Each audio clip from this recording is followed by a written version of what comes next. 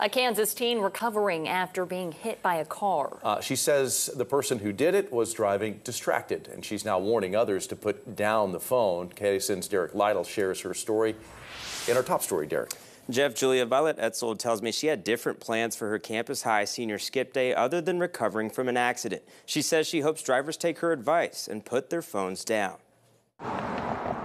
Violet Etzold was leaving her afternoon job at Rex Elementary Thursday. Almost through the crosswalk and this car just comes and like hits me straight through my right side. Shock set in. I was just sitting there shaking, like I called my dad.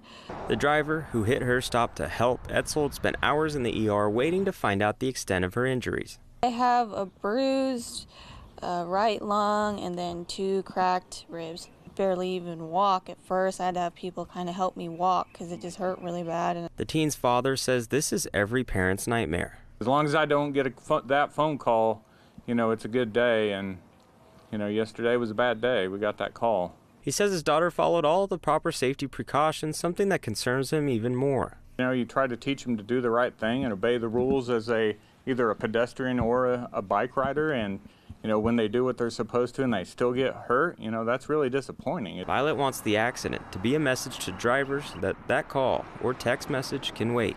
just don't use your phone when you drive. I mean, like accidents happen all the time and just just don't it's just you can always check it later.